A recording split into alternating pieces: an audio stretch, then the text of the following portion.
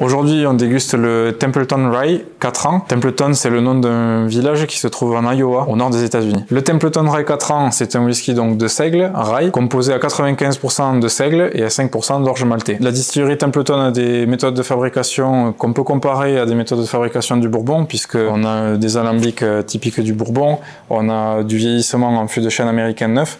Donc euh, ce whisky est assez intéressant parce qu'en le comparant à un Bourbon, de voir vraiment l'influence du seigle sur euh, le produit final quand on le compare à un bourbon qui sera fabriqué, lui, avec au moins 51% de maïs. Au nez, on retrouve euh, un côté céréal euh, beaucoup plus marqué que sur un bourbon, donc ce côté orge maltais, voire blé, céréales très légèrement torréfiées, qu'on n'a pas dans un bourbon. On a vraiment ce côté même paille qui est vraiment, vraiment présent. Et en bouche, euh, déjà, on est sur un caractère euh, très très fin. On retrouve pas le côté épicé qu'on pourrait s'attendre à avoir sur un whisky de seigle.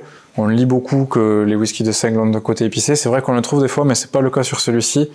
La bouche est vraiment très très fine. Un petit côté beurre de cacao.